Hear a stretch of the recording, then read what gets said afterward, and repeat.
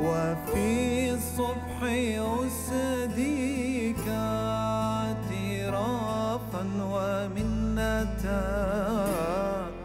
على حبك المبذول. نحوي بفضل آمين. آه راح نتكلم في هذا الوقت آه عن موضوع المسامحة وماذا يعني لي عندما أسامح. كيف أفهم أنا كإنسان مسيحي موضوع المسامحة؟ وأسامح من؟ وإلى أي حد؟ هل هناك حدود للمسامحة؟ ومن نتكلم عن المسامحة إنه هناك شخص قد أخطأ لي واعتذر مني. اعتذر مني بس أنا بقيت محمل بأفكار سلبية حول هذا الشخص. ما دا أستطيع أتخلص منها؟ فما دا أستطيع أت- يعني أتواصل معه؟ فتلاحظون هاي الحالة تقود البعض إنه يعمل block لشخص يعمل له unfriend يحاول يتصل به هذا الشخص ما يجاوب تليفوناته. فهذه الحالة اللي بدنا نتحدث عنها. يعني بدنا نتحدث عن شخص اقتنع إنه هذاك الآخر آه، قد أساء له بشيء معين. قد اساء له مع العلم انه هذاك قد صنع معاه خير كثير صنع معاه خير كثير وحتى على هذه الجزئية الصغيرة هو كان قد اعتذر. لاحظوا أحبائي نتحدث عن هذه الحالة بالتحديد. يعني بدنا نقول إنه هناك شخص سيء جدا و... لا لا بدنا نتحدث عن شخص مظلوم أصلا مظلوم من قبل هذا الشخص. فهذا الشخص اللي مدى يستطيع أن يسامح مدى يستطيع أن يغفر. وهو يذهب للكنيسة يحضر درس كتاب مقدس. بس هو ما عارف إنه هذا التصرف اللي دا يتصرفه هو دا يحرمه من أبديته. راح أشرح لكم الحالة أكثر. هناك شخص قام بمساعدة إحدى السيدات قام بمساعدتها. مساعدة كبيرة جدا ما كانت تحلم بها في حياتها. يعني ساعدها في موضوع هجرة واعتنى بيها وعمل كل هذا الشيء. اللي صار من اجتي لهذا البلد هي يعني حبت إنه يكون لها مركز آخر حبت إنه يكون الاهتمام بها أكثر وأكثر. ولأنه هذا الشخص هو مشغول يعني هم عنده التزامات عنده كذا. ففي يوم من الأيام ما استطاع أن يزورها لي يمكن لأسبوعين أو ثلاثة يعني فهي ظل على خاطرها. ومن هذاك الوقت أخذت موقف آه، قامت تفسر كل كلمة يتكلمون بها بشكل سلبي آه، من ناحية العائلة الأخرى. فهذه الأفكار ما قدرت تنساها. مع الوقت تبنتها وابتدأت تعمل بلوك لكل أفراد العائلة. مع العلم آخر موقف كان بيناتهم هم شيء طبيعي كان يعني حديث وحوار بالهاتف وكل شيء طبيعي. فجأة فجأة قررت إنه آه، تزعل. هاي الحالات موجودة موجودة. هناك أشخاص تلاحظوهم على غفلة. اتخذوا موقف وعملوا block أو unfriend unfriend بناء عن إيش؟ بناء عن أفكارهم الخاصة. أفكارهم الخاصة هم تبنوها واقتنعوا بها تمام. هذول الأشخاص بالحقيقة هم لم يعرفوا أبجديات المسيحية. أبجديات المسيحية. المسيحية هي مسيحية عطاء مسيحية بذل. فالبذل والعطاء إذا ما كان مرتبط بالمسامحة لأن المسامحة هي شنو؟ هي بذل. صحيح؟ أنا من دا أسامح أنا دا أبذل. أنا دا أقدم شيء. دا أقبل ما يخالف. أنت لنفرض إنه أنت فعلا أسأت إلي بس أنا راح أقبل وأسامحك. أنا راح أتنازل. أتنازل عن كرامتي مثلا. طبعا هو هو ما صاير. كل هاي الأشياء الحالة اللي اللي دا أتكلم بها هي هي شيء بالعكس الطرف الآخر هو المظلوم بس لأنه هذا هو مقتنع بهاي الأمور. هو ابتدأ آه، يفكر بهاي الطريقة فاللي صار شنو إنه هكذا إنسان هو دا يعيش في حالة هل تعتقدون أنه هو راح يكون سعيد؟ هل الرب راح يكون سعيد؟ هل الطرف الآخر راح يكون سعيد به؟ الثلاث أطراف راح يكونون بالحقيقة حزانة على هذا الشخص وهو أيضا حزين على نفسه دائما الخصام لا يولد سعادة بل العكس هو الصح. الغفران والمسامحة يجلب سلام لكامل الكيان. يجلب سلام. فالمؤمن أحبائي هو اللي تكون حركة حياته على أساس حركة المسيح الذي فيه. إحنا بدنا نتحدث عن هاي الحالة. دا أقول لكم أنه هذه الامرأة هي امرأة مؤمنة. يعني إذا تحاول تتقرب من الرب بس ما تقدر تعالج هذه الجزئية اللي هي صارت كل كيانها. صار هناك فيروس معشعش عندها وهي ما تقدر تتخلص من عنده؟ فبينما الله يريد يظهر في أعمالنا هذه الإمرأة مدى تستطيع أن تظهر الله للآخرين؟ مدى تستطيع تظهر محبة الله تواضع الله؟ مسامحة الله. هاي يعني إلهنا هو المضحي هو المعطاء. فإحنا إذا مدى نعكس هذه الصورة إحنا بالحقيقة دا نبتعد عن الله. واللي يبتعد عن الله يوم بعد يوم منو يقتنصه؟ إبليس. فحذاريكم حذاري من هذه الأفكار. وين الخلل يصير؟ الخلل يصير أحبائي من أنا أتبنى الأفكار المغلوطة عن شخص. كيف أحكم على تصرفات الآخرين؟ كيف أقيمها؟ التقييم الصحيح يجب أن يتم من خلال رؤية الموضوع بكاملة. يعني أنا إذا أتعامل مع شخص معين وهو إنسان دا يعمل معي خير كثير. وأخفق في جزئية معينة. لنفرض إذا هو أخفق يعني. لنفرض إنه هو أخفق. أنا أجي أنسى كل هذاك العمل وأركز على هذه الجزئية الصغيرة. فأنا أكون دا دا يكون عندي خلل بطريقة تفكيري. يكون عندي خلل بطريقة تقييمي للأحداث. وهاي مشكلة يقع بها الكثيرون. ينسون كل الخير اللي صنعه هذا الشخص ويمسكوها عليه. ها؟ آه؟ ليش ما كذا؟ ليش ما عملت كذا؟ انت مو خوش ادمي انت مو هذا. يابا زين ما يخالف بس بس أنا ترى عملت كثير معاكم بالسابق. وطبعا ما راح يقولهم بس لسان حاله يريد يقولهم إنه هذا الخير اللي أنا عملته كله نسيته. فنلاحظ إنه طريقة التفكير السلبية والخاطئة تقود الكثيرين لعدم المسامحة. أكو البعض يتبنون الفكرة السلبية ويحكمون على هذا الشخص إنه هو غير قابل للتغير. أنا خلص هذا الإنسان حكمت عليه إنه هو إنسان سيء وهذا ما راح يتغير. طيب ليش؟ ليش ما أنت تصلي من أجله؟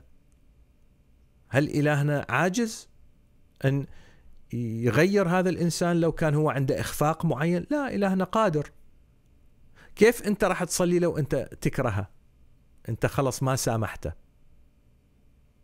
الإنسان المسيحي الحقيقي يجب أن يشعر ويشعر الآخرين إنه المو المسيح موجود في حياته. يجب هو أن يشعر اولا إنه المسيح موجود في حياته ممجد بحياته ده يعمل في حياته حتى يستطيع هو أيضا أن يشعر الآخرين بهذه الحقيقة. إذا مدى يستطيع أن يظهرها للآخرين؟ لا يزال يتلذذ بالخصام بعدم المسامحة بعدم الغفران. ما يستطيع. اكو البعض يقول ما نقدر. ما أنا خلاص أنا هذا الشخص يعني حكمت عليه. حطيت حكم إعدام حكم شلون بلاك ليست يعني بالقائمة السوداء. خلاص أنا هذا ما أقدر بعد أتواصل معه. مع العلم هذا الشخص قد صنع خير كثير في حياتهم. فاذا هناك سواد هناك مشكلة هناك صراع داخلي في حياة هذا الإنسان. فهل هذا الإنسان دا يغامر بأبديته؟ من الذي يسيطر على كيان هذا الإنسان؟ هناك قوة شريرة مسيطرة ودا تقود لكل هذه الأفكار. قوة شريرة تسلط شيطاني هذا. فهاي تظهر حالة خطرة جدا في حياة هذا الإنسان. هو بيش يخدر نفسه. بيش يحاول يقنع نفسه. خلي أحضر لي قدا- القداس الإلهي. خلي أحضر لي هاي المحاضرة. يخدر نفسه. يعتقد أنه هو بخير. بس هو بالحقيقة في وضع يرثى له. وهو كل هذه الأمور اللي دي يسويها هو ما راح تفيده بشيء. أبدا يكون دي يضيع وقته هذه الجزئية اللي نتحدث عليها قادرة وبشكل كبير أن تفقد الإنسان خلاصه الإنسان المسيحي بعد أن يتجذر بكرمة المسيح يفقد خلاصه إذا استمر بعناد القلب لا يستطيع أن يسامح الرب يسوع قال أنتم مطلوب من عندكم أن تسامحون سبعين مرة سبع مرات صحيح؟ لمن؟ للي يجي ويعتذر لنا شخص تعب يعني أو س- سوالف تعب معين يعني أذاني لنفر بس اجى اعتذر. اجى وقال لي يابا أنا آسف إذا بدر مني فد شيء إذا إذا أنت فكرت عني إنه أنا صنعت هذا أنا آسف أعتذر. فيقول سبعين مرة سبع مرات. فهذا بعد مرة دا يخفق ما دا يقدر يسامح مرة واحدة. يعني هذا الشخص هو مو دائما دا يغلط هاي الغلطة. لا لا هو مرة واحدة غلطها. بس هو شنو؟ أخذ موقف خلص أنا بنيت نظرتي الكاملة عن هذا الشخص من خلال هذا الموقف. نظرة كاملة موقف كامل أنا بنيته بناء على هذا التصرف اللي هو أخذه على أنه هو إهمال ما اهتم بيه ما كذا فطبعا هو ما ما موعود بهذا الشيء يعني فنرجع ونقول هي أفكار مسمومة وأفكار شيطانية هل الإنسان الزعول يستخدم الله؟ هل الله يكون فرحان بهكذا إنسان؟ بالتأكيد كلا فإذا هو من دي يبقى مصمم على هذا المسعى هو دا يفقد قوة عمل الله في حياته واللي بالتالي إيش راح تأدي الغصن اللي جف راح ينزع ويرمى للنار. فإذا هو دا يفقد ثمرة ما راح يستخدم خلاص. الروح القدس حزين في هذا الكيان. ماكو استخدام ماكو ثمر. ما معنى أن يسامح الإنسان؟ وما معنى أن يغفر؟ معناه أنه يتمم ويعيش كلام المسيح. الصلاة الربانية يقول اغفر لنا خطايانا كما نحن أيضا نغفر لمن أساء إلينا. كما نحن. اغفر لنا كما نحن. فإذا أنا مدى أقدر أعيش هاي هاي الجزئية البسيطة؟ يعني وهاي هاي جوهر المسيحية جوهر المسيحية. مدى أقدر أعيشها؟ فأنا شنو الفائدة إذا راح أروح للكنيسة وراح أحضر درس كتاب المقدس ما راح أستفيد شيء. أين هذا التصرف من أحبوا أعداءكم؟ يعني أنت بعدك مع اللي دا يعتذر منك مدى تقدر تسامحه. فكيف الإنسان اللي هو عدوك؟ وينك من هذاك؟ هذاك يعني إيش راح تسوي معاه إذا أخوك اللي مشاركك بالإيمان واللي قد صنع خير معاك ماذا تقدر تغفر له. فما بالك بعدوك اللي الرب أمرك إنه تحبه. فراح تكون إيش قد أنت بعيد كل البعد عن فكر المسيح. بعيد. ال- العلاقة أحبائي أو ردود أفعالنا يجب أن تعكس ال- الرباط السري بيننا وبين المسيح. أنا من دا أعيش حياتي مع المسيح. وهذا دا يظهر للآخرين. دا يظهر ماذا؟ دا يظهر هذا ال- الرباط السري. دا يظهر مدى تشبعي بالمسيح. فإذا من مدى أقدر أعيش وصايا المسيح لا يجب علي أن أتوقع بركات المسيح خيرات المسيح وإحنا نتحدث عن أمور أبدية الأكاليل المراكز. يجب علي أن لا أتوقع هذا الشيء. يجب علي أن لا ألوم الرب. يا رب ليش ما تستخدمني؟ ليش تستخدم فلان و... وشو يعني فلانة صارت مرتلة وفلان ده يخدم بالكنيسة شماس. ليش أنا ما تستخدمني؟ يقول لك روح أفحص ذاتك. ليش ما تقدر تسامح؟ ما هو الرب؟ قال إذا جيت وجبت قربانك للمذبح ولأخيك شيئا عليك اذهب اصطلح معاه قبل أن تذهب تأتي وتقدم قربانك. لاحظون أحبائي يجب أن نقرأ ما بين السطور في الكتاب المقدس. ما هي الأمور المهمة جدا واللي الرب شدد عليها؟ أهم من التقدمة المسامحة. الغفران أهم من التقدمة. صدقوني هي أهم من كل شيء. من أي تصرف ممكن انه نتصرفه ونر- ونرد به؟ يعني يكون عندنا رد فعل للرب. أهم شيء اذهب واصطلح مع أخاك. تعالوا خلي يكون قلبك نقي. طوبى لأنقياء القلب لأنهم يعاينون الله. إلهنا أحبائي راح يحاسب. وراح يحاسب مو في الأبدية مو في ال- الأيام ال- يعني في يوم القيامة. لا لا راح يحاسب الآن. راح يحاسب كل الأشخاص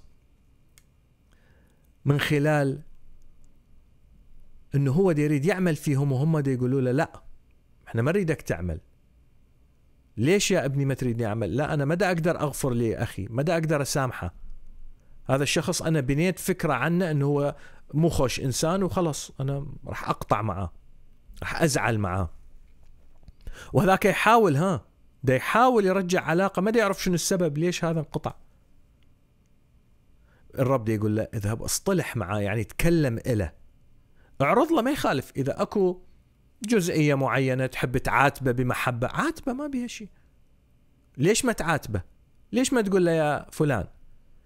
يعني أنت تعرف معزتك عندي وهالأمور. بس أنا كنت أتوقع منك فد شيء معين. وأنت يعني ما قدمت لي هذا هذا الموضوع. وأنا حزنت كثيرا.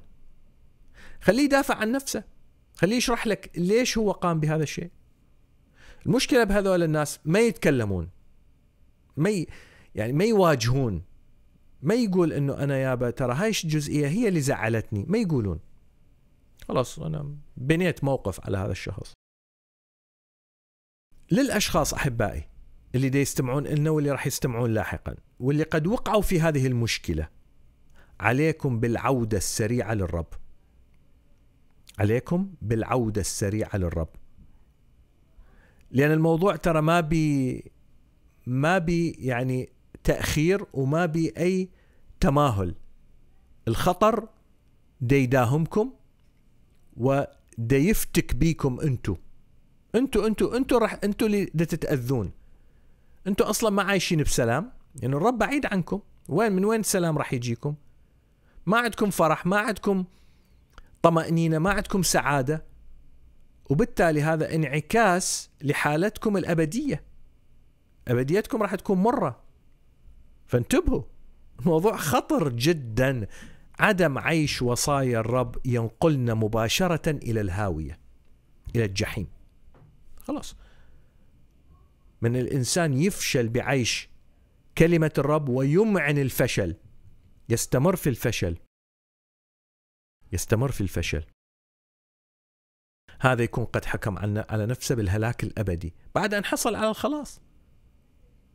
حصل على الخلاص. طيب شو تريد بعد؟ شنو اللي تريده بعد؟ شو يريد يقدم لك يسوع المسيح بعد أكثر؟ ما هو قدم لك؟ كل أنواع البركات. قدم لك كل شيء قدم لك ابنة. تجسد واجى إلى عالمك وقدم لك كل ما تحتاجه. وانت بعدك كبريائك عالي. أحبائي محبة الأعداء ونبذ عدم الغفران. يجعل الإنسان آنية مجد للمسيح. فوين وين هذا المركز وين هؤلاء الأشخاص؟ هم بعيدين كل البعد. مدى يقدروا؟ يعيشوا كآنية مجد. مدى يقدرون؟ يفكرون بالأمجاد الأبدية. هم محصورين في القشرة الخارجية في الحالة النفسية اللي يعيشون بها. محصورين. بينما الإنسان المسيحي الحقيقي هو الإنسان الذي ينظر إلى الشيء النهائي إلى الشيء البعيد إلى حياته الأبدية. كيف هو يقاتل على هذه الأرض حتى يحصد أكاليل أبدية؟ كيف؟ هذا هو المحك. بولس أحبائي تحول من مضطهد إلى مضطهد. كيف تحول؟ لأنه عرف مشيئة المسيح وفكر المسيح وقرر أنه يعيشه. قرر أنه يعيش فكر المسيح. فلو كان هذا الشخص من النوع اللي لا يسامح لا يستطيع أن يغفر عنده عنده علة على أحد الأشخاص هل كان راح يكون من الحكماء؟ راح يكون شخص فعلا آنية مجد الرب يتمجد من خلاله؟ بالتأكيد لا. ما كان راح يستطيع أن يجري أي شيء. ستيفانوس هو أول شهيد في المسيحية وهو شماس كان. هذا الشخص يعني كان منقاد بالروح القدس ورجل يعني مفعم بال بالقوة الروحية. اجتمعوا عليه الأعداء وقرروا أنه يرجموه. فهم دا يرجموه هو تذكر منه. ذكر معلمة. قال معلمي سوى. هو على الصليب سوى. غفر. أنا هم راح أغفر. حتى بالضبط أكون مثل معلمي. غفر لأعدائه. وحتى من دون أن يعتذرون له إحنا دا نشرح في هذه اليوم حالة لشخص دا يجي يعتذر.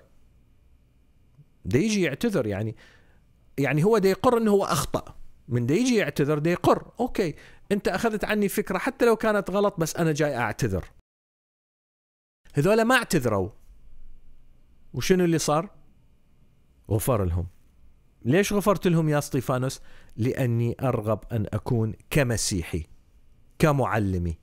كفادية كربي.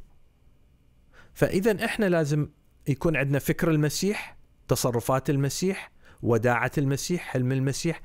هاي يجب أنه إحنا يوميا هي تكون في فكرنا. يعني في أي موقف أنا دا أتصرفه يجب أن يكون هذا هو اللي مالئ فكري وليس أي شيء آخر. الشلال يعطي ماء ويعطي أيضا قوة دافعة كهربائية. ونحن يجب أن نكون هكذا. يجب أن نكون مصدر طاقة كتابية إنجيلية للآخرين. مصدر طاقة. فأي طاقة راح أقدم وأنا لا أستطيع أن أسامح. أي طاقة؟ الطاقة راح تكون مشوهة وراح تكون ضعيفة جدا. المسيح دعانا أن نكون مختلفين أحبائي. قال مثل ما أني سويت أنتوا سووا مثلي. شفتوني أني متواضع؟ كونوا متواضعين.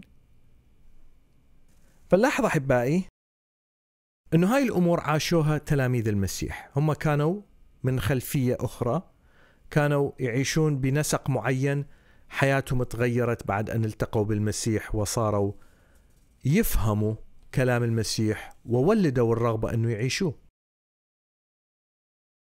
بولس الرسول تحدث قال لأن الله هو العامل فيكم أن تريدوا وأن تعملوا من أجل المسرة. فأنا من يكون هدفي كله هو مسرة الله ومسرة الآخر ومسرة نفسي. يعني أنا الله من يكون مسرور فينا أحبائي وهو ساكن فينا هو متحد بينا بروح القدوس. مسرته راح تنعكس علينا راح نكون إحنا فرحانين دائما. لأن نعيش كلمته. سرورة لازم ينعكس علينا. فاذا المفتاح هو أن نريد وأن نعمل. أن تريدوا وتعملوا من أجل المسرة. والعمل بتضحية بتعب بتنازل. ما يخالف. أنا ماذا أستطيع مثلا أسامح هذا الشخص؟ بس لأنه أنا بديت أفكر أنه أنا عدم مسامحتي أنا دا تؤذيني وأنا دا تحرمني من اكالي الابديه وأنا أريد أعيش كلام المسيح. لا أنا راح أغصب نفسي يجب أن أسامح. لأن شنو البديل؟ إحزان للروح القدس وإحزان لنفسي ابتعاد عن الرب عدم القدرة على الثمر وبالأخير خ- خسارة كل شيء. أنا دا أخسر كل شيء مع الوقت. فمطلوب من عندنا الانسجام بين إرادتنا وإرادة الله. إحنا أحبائي من نقول إحنا متحدين بالروح القدس. إحنا يجب أن نكون جبلة واحدة. مو إنه الروح القدس عنده فكر واني عندي فكر آخر. لا هذا هاي مو حياة مسيحية. مو حياة انقياد بالروح القدس. فكري وفكر الروح القدس يجب أن يكونون واحد. سلامي يجب أن يكون مأخوذ من سعادة وفرح الروح القدس ونشاط الروح القدس في حياتي يكون نشيط يكون دا يعمل يكون دايناميك من دا أقول نشاط الروح القدس معناها أنا اعطيه المجال دا أقول له يا رب أنا ما عندي حدود إلك. أنا ما عندي أي مقاومة إلك. اذهب واعمل بي بحسب ما تشاء. فالروح القدس نار. نار آكلة. فدورنا أحبائي في هذا اليوم أن نبحث عن مسرة الرب في حياتنا. لا أن نبحث عن مسرتنا النفسانية الشيطانية اللي تخلينا ما نسامح فلان ما نحب فلان نزعل مع فلان آه، نغضب على فلان. لا. يجب أن نبحث عن مسرة الرب اللي أخلى ذاته وإجا بصورة عبد تعرض لكل الإساءات وكان يغفر ويسامح ويحب. حتى يقدر يشفي حتى يقدر يقدم حتى يقدر يخلص. إحنا بالأخير شنو هدفنا من هذه الحياة؟ أن نخلص أن نخلص آخرين. فإذا إحنا بعدنا ما خلصنا كيف راح نقدر نخلص الآخرين؟ صلاتي أحبائي للجميع أن يأخذوا هذه الرسالة على محمل الجد وأن لا تبقوا أي إنسان في حياتكم عندكم عليه شيء. إذا أكو شيء واجهوه. واجهوه. آه شوفوا أنتم شنو الموضوع. تكلموا معاه بكل محبة. وإذا هناك أي أي مجال يعني إنه يصير توافق يجب أن يكون هناك توافق. إذا هو أصر يعني راح نأخذ جانب آخر إنه أنتم مثلا يعني شخص زعل من عندكم وما يقبل يغفر لكم وأنتم دا تحاولون ودا تعتذرون وما خلاص. يعني بعد كل المحاولات ليكن عندكم كالوثني والعشار. يعني خلاص عوفوا احترموا إرادته. بس هل أنتم فعلتوا كل هاي الأشياء اللي تكلم عنها الرب؟ اذهب إلى الكاهن اذهب إلى الكنيسة اذهب إلى أقرباء الكبار كذا حاول معاه. إذا حاولت كل هاي المحاولات وشفت الطريق مسدود ف خلاص يعني هو هو قرر هذا الشيء. بس أنتم أحبائي انتبهوا لسلوكياتكم لا أن تشابهوهم. لا أن تحكموا على تحكموا على أشخاص وحكم إعدام نهائي إنه هذا الشخص خلاص. وهو دا يريد يعتذر منك هو دا يريد يقترب منك. دا يريد يبين لك وجهة نظره. فأصلي أن نكون جميعنا محميين من هذا الفيروس الخطير اللي للأسف دا يهلك الكثيرين بشكل يومي وهم غير عارفين أنهم ذاهبين إلى الهاوية المعدة لإبليس. أصلي أن تكونون بعيدين عن هذا المصير باسم الرب يسوع.